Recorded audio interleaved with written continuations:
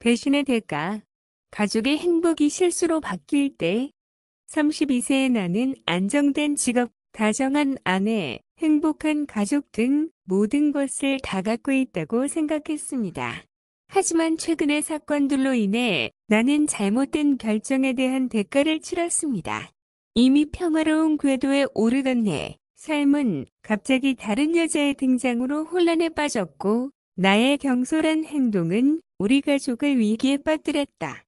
잃어버린 길을 향한 첫걸음.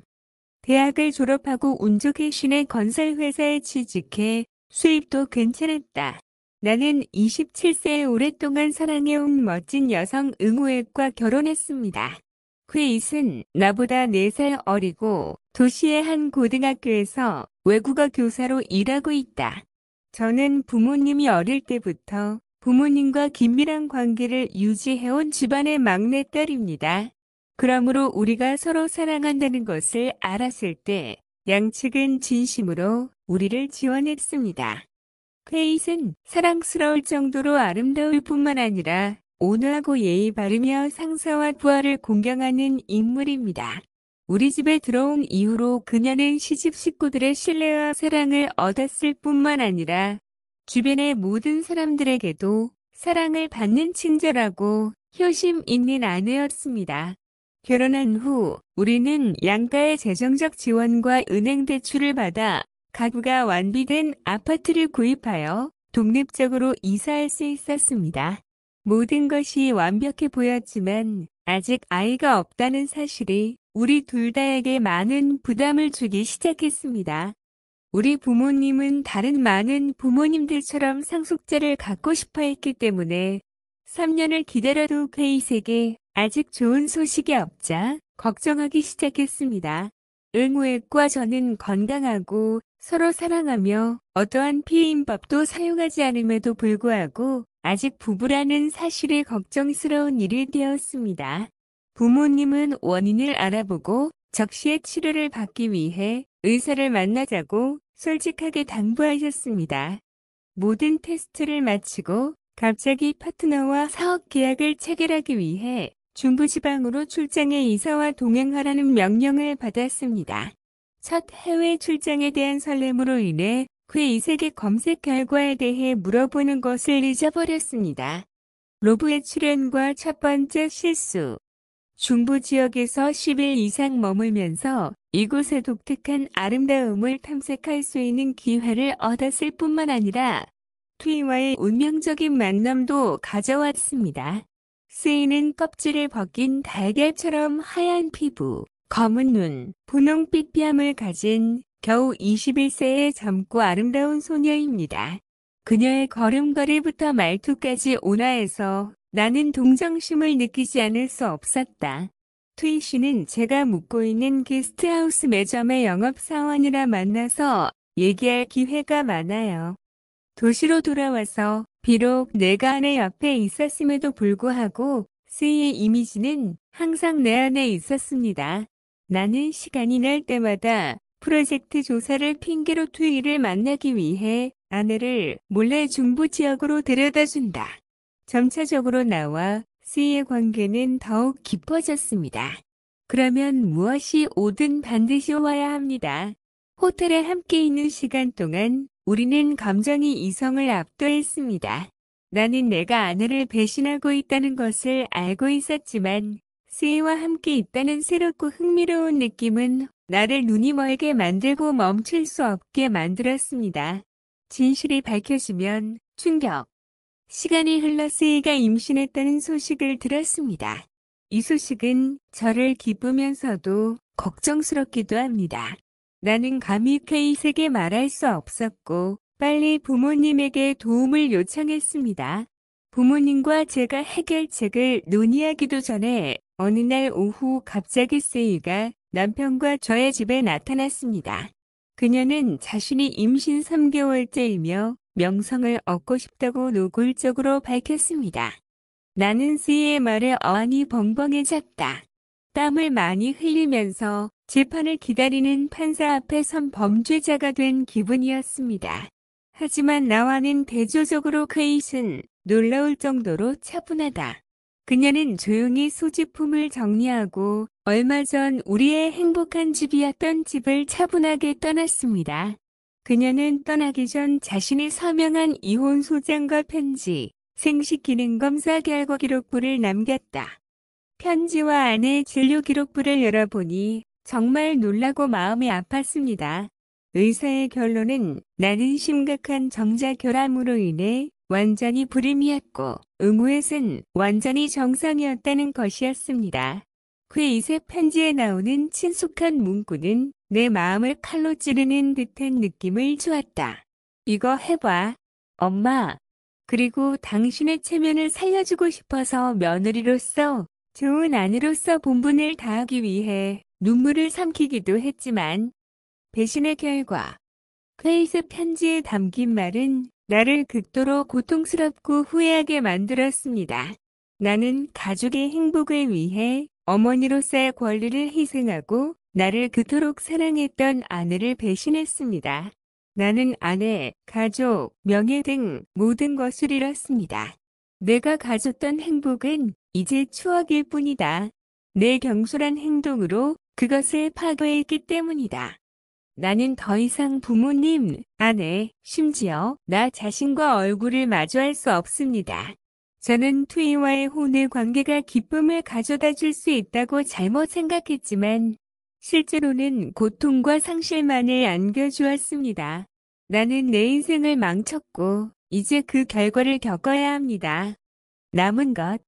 퀘잇은 수년 동안 나에게 준 모든 사랑과 희생을 가지고 나를 떠났습니다. 나는 아버지가 될 수 없다는 투이와의 관계가 단지 실수였을 뿐이라는 쓰라린 현실을 직시해야 했습니다. 아무리 노력해도 잃어버린 것을 되돌릴 수 없다는 것을 압니다. 이제 나에겐 외로움과 후회만 남았다. 매일매일 나는 내가 행한 일로 인해 괴로움과 괴로움 속에서 살아가야 합니다. 나는 사랑했던 아내, 한때 이루고 싶었던 가족을 잃었습니다. 모두 통제력이 부족하고 생각이 없는 순간 때문이었고, 이제는 영혼이 공허한 상태로 살아야 합니다. 결론, 배신의 대가. 배신은 가족의 행복을 파괴할 뿐만 아니라 영혼에 치유하기 어려운 상처를 남깁니다. 잘못된 선택으로 인해 큰 대가를 치렀고 이제 그 어떤 것도 달래줄 수 없는 외로움과 후회, 고통만 남았습니다. 인생은 선택의 연속입니다. 때로는 단 한 번의 잘못된 선택만으로도 우리가 쌓아온 모든 것을 파괴할 수 있습니다. 다시 돌아갈 수 있다면 절대 이런 상황에 빠지지 않을 것입니다. 하지만 불행하게도 인생에는 뒤로 버튼이 없으며 실수를 안고 살아가는 법을 배워야 합니다. 자신을 찾는 여정, 구원과 회개, 의무의 시입 떠난 뒤 며칠 동안 나는 외로움과 후회에 젖어 있었다. 집 구석구석 작은 기억 하나하나가 이제 내가 배신한 아내, 의무에 세대한 향수를 불러일으킵니다. 나는 삶의 방향을 잃은 잃어버린 사람처럼 느껴집니다. 잠이 오지 않는 긴 밤이면 나는 종종 어둠 속에 혼자 앉아 내가 한 일을 생각하고 내 실수를 바로잡을 기회가 아직 남아있는지 궁금해했습니다.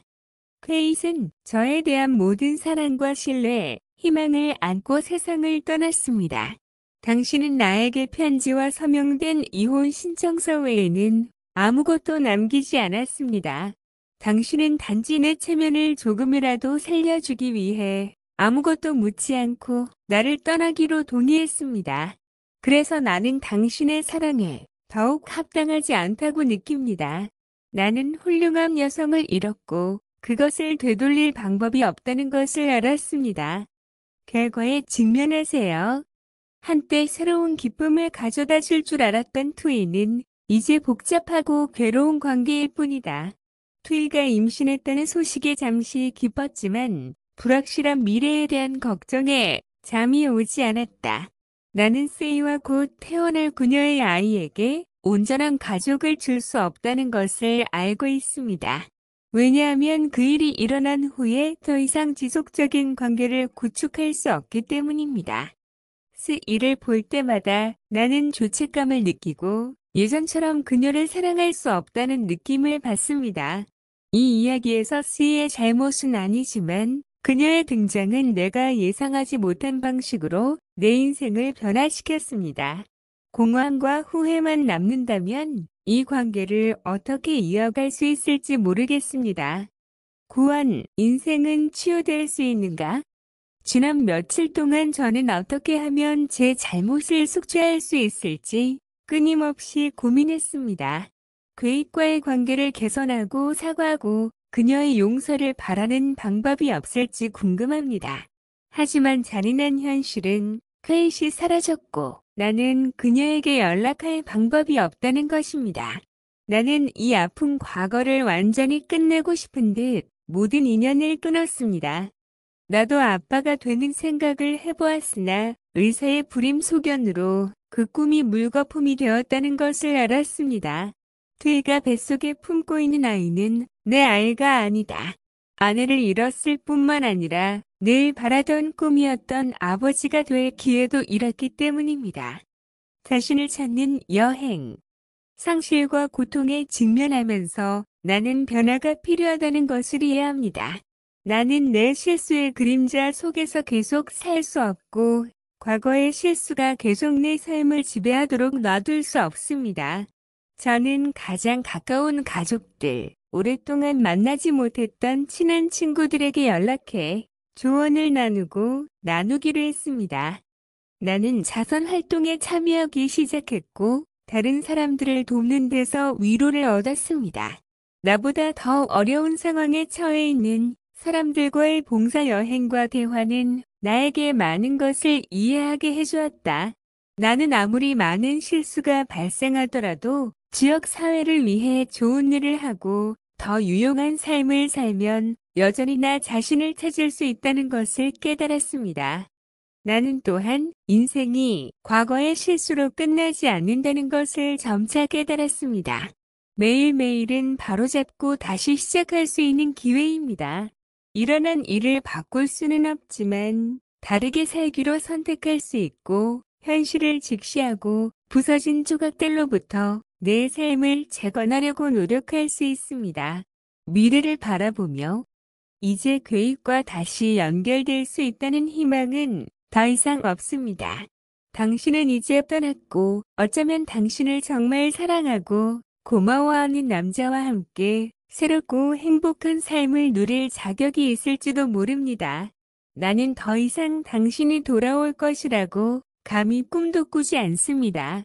왜냐하면 나는 그 기회를 영원히 잃었다는 것을 이해하기 때문입니다. 나는 또한 세이와의 관계를 끝내기로 결정했습니다. 비록 그녀가 임신 중이지만 이 관계를 계속하면 우리 둘 모두를 더욱 비참하게 만들 뿐이라는 것을 나는 이해합니다. 나는 당신과 당신의 아이에게 온전한 가족을 줄 수 없으며 또한 당신이 진정한 사랑이 없는 상황에서 살기를 원하지 않습니다. 나는 앞으로도 다른 방식으로 살아갈 것입니다. 나의 잘못을 숙제하기 위해 살고 다른 사람을 돕기 위해 살고 진정한 삶의 의미를 찾기 위해 살아갈 것입니다. 이 여정은 아마도 길고 힘들겠지만 저는 제가 저지른 실수로부터 배운 모든 것을 바탕으로 이겨낼 수 있다고 믿습니다. 결론, 삶과 귀중한 교훈.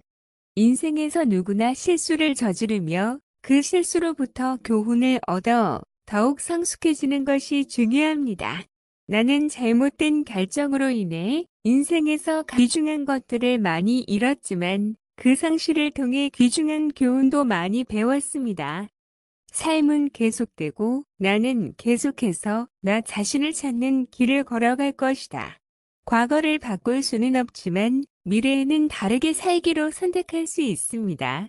그리고 미래가 어떻게 되든 나는 과거의 실수가 계속해서 내 삶을 지배하도록 두지 않고 다시 시작하겠다는 결의와 품격을 갖고 살겠습니다.